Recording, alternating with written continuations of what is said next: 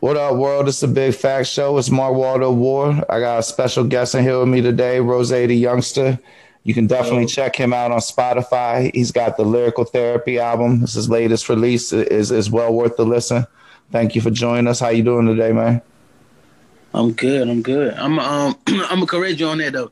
Lyrical Therapy, it's on more than Spotify. It's everywhere. It's on Apple Music, iTunes, YouTube Music, Spotify. It's on um shit all major streaming platforms got you. My bad.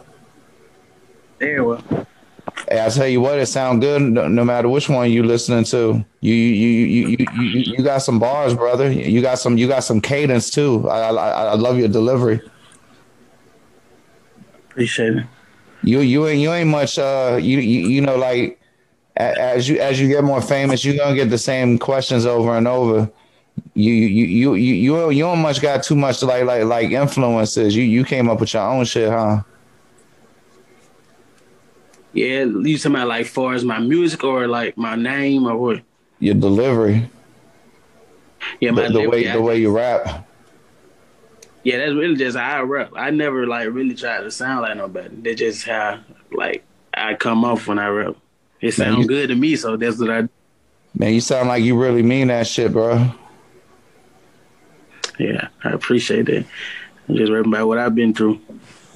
You, you, you, got, you got a lot of pain in that, man. Yeah, man, it's a whole lot, a whole lot of that. I've been experiencing that since young age, losing friends and all type of shit. Yeah, it's a whole lot of that. Does, does the music help, or do you ever feel that you know you make a song and then and then the, the, the, you you perform it or you hear it over and over and it brings back bad memories. Nah actually music helped me. Like if i'm depressed or something like if i'm feeling like like down by some really the way like because i don't i'm not the type of person who can vent. Like i don't feel like i can vent to folks. Like it's not it's it's hard for me to talk to people like one-on-one conversations. So it's like a microphone is like a person to me but it just catch everything I'm saying and they come out on a song. It sound good to me, so I can like just let it out through a microphone, other than talking to somebody who who probably are just gonna judge you or if they get mad at you or something, they'll try to use whatever you tell them against you, basically. Is dealing with media and I just, I just do. Um, oh, now go ahead. Nah, go ahead. What you saying? Is dealing with media and people like me and having to talk about yourself one of your biggest is that one of the biggest drawbacks for being a musician for you? Nah honestly i honestly like you to be honest because like i want folks to know me. That the only way people gonna know you is if they talk to you and you tell them like you tell them about yourself. That's the only way they gonna know you. So i ain't got a problem with it. Got you. So what, what what's your story you know, like if they was writing the double XL piece like they would a decade ago, what would they be talking about? Like me, mm, I say, see, I'm from East Point. I grew up. I grew up with both parents.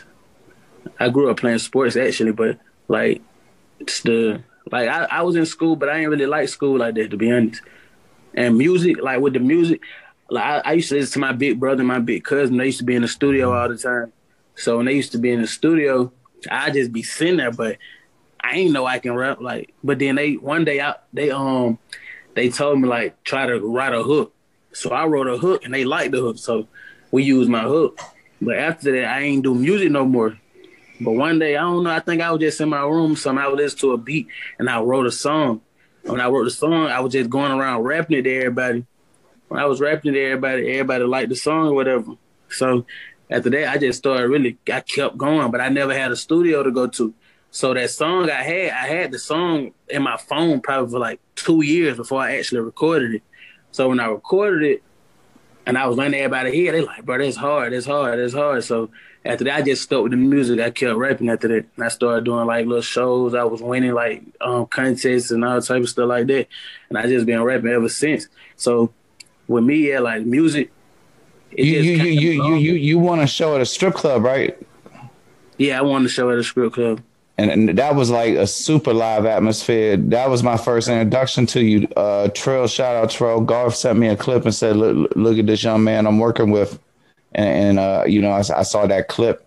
That yeah. that, that, that, that, that, that, that was stupid live. Oh yeah, that was that was lit. That was lit, lit. That was really that was actually one of the the best shows I feel like I did. And it was, I got I got to ask you something though. You said you got you was in sports, you was in football. What was it? What was a better feeling? I played football, basketball, and baseball. I actually had a I actually had a baseball scholarship to Valdosta State, but like I said, I wasn't really into school like that, so I ain't really want to be there. So I used to get in trouble a lot, like I kicked out of school. So that really just went like down the drain. Well, you ain't like you ain't like being told what to do. Yeah, ain't it? It ain't that I ain't like being told what to do. It's just like, like my temper. Like any little thing. Like if I get irritated or something, I used to get like mad. Or like if it's something I don't understand in the class, like if I'm asking the teacher, you know, it's a lot of students, so the teacher can't really give you one on one like time like that.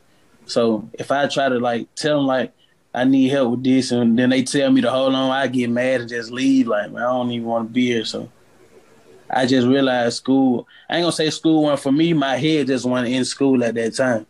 Like now, I, I'm like, I wish, I wish I would have stayed in school. Are you uh, do, you do you believe, or are you starting to believe that you'll be able to be a musician as your career for the rest of your life? Well, and do you, and if so, do you think about what that means? I want to be, I want to, but no, I ain't. I mean, I'm not even gonna say I want to. I, I believe I could, but I don't want to. I actually want to do more than just music. I want to do acting, like a lot of stuff. Video. Okay, well, fair enough. Like, but you've taken yourself out of the traditional job market and giving yourself more autonomy in this world, especially to, uh, you know, it, has got to be better for you as a person to ha- to have a career that allows you to be creative and expressive than one that has you told what to do and, and chained to a clock. I mean, it's no secret that musicians work hard like you definitely picked a life of hard work. Yeah, yeah, definitely. But it's like I'm ready for it. I'm really ready for it. Sometimes I feel like I be stuck, like the, like I be stuck. I don't be knowing what to do, like where to start at, cause like I'm really, I'm still at the beginning. Honestly, I'm at the starting stage still. I'm paid for sure. I'm trying to get noticed by people, so I'm still at the beginning stages. So I just know I just got to keep doing the music. And what happened gonna happen. Is, is, is it still like you know everybody try everybody got advice trying to tell you what to do, how to do it? Yeah, I get that sometimes, but I really I really block that out. Folks feel like I don't be listening, but I folks feel like I don't be listening because I don't take everything they say and just do it exactly how they tell me to do it. But I'm like, you can't really tell me how to do something that I do.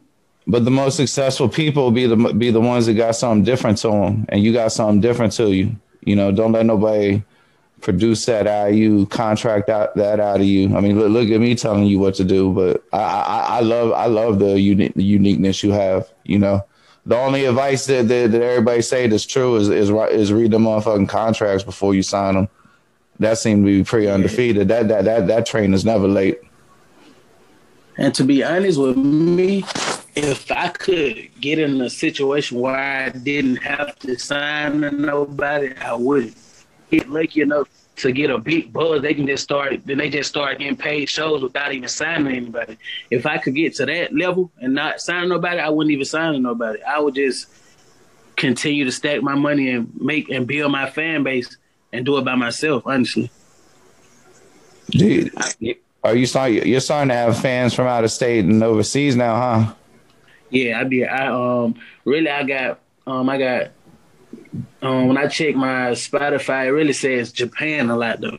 It's a lot of folks in Japan. I, I, I can see that because, like I said, you you you definitely got a, a, unique cadence. You know, I don't I don't know. You know, a lot of these words is cliche and stereotype, and they some rap magazine bullshit made up by some college motherfuckers that don't know shit about hip hop. But but it, it, it's it's something about the way you spit. There's an energy in it. Like like I said, anyone listening, I, would highly suggest you check them out on any streaming platform. Rozay Da Youngsta. Um, s- spell that out for me, just so I don't get it wrong, please. It's R O Z A Y D A Y O U N G S T A. And uh, you know, it's no exaggeration. This young man's building up uh, quite quite a fan base in Atlanta. Is uh, like I said, his music starting to get out the city. You know, like we we getting there early on the wave. You know, before before we get out of here, is, is there anything you'd like to say or talk about? Um, let me see. Oh yeah, actually, I got um, I got another project. I got another project called Soul Cries. I'm not sure when I want to um drop it, but it's already finished. It's finished already. I was planning to drop it on New Year's though. And my daughter, actually, my daughter's birthday is at 12 o'clock. I'm not sure if it's 12 o'clock yet. My daughter's birthday is at 12 o'clock too, also. So I'll say birthday to my daughter.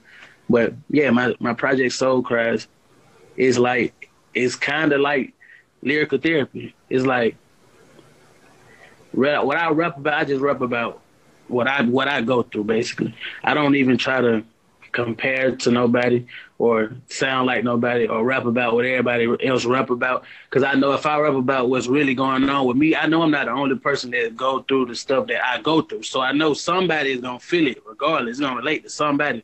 Man, bro, I ain't never been to no motherfucking Bugatti. I damn sure ate some shitty food a couple days before my paycheck. Yeah, for sure. For sure. So that's why I try to keep it as really as real as it can. Like sometimes I like to rap about the industry stuff, like how it would be if I did have it, but I know I don't have it. So majority, ninety percent of my music is gonna be real of what I'm really going through and what's really going on around me. Man, you you you gonna get it, man. Rozay Da Youngsta, ladies and gentlemen. Thank you for your time, sir. Thank you, bro. I appreciate you. Man, anything I can do for you, and you take it light, man. All right, you too. All right, yo, good night.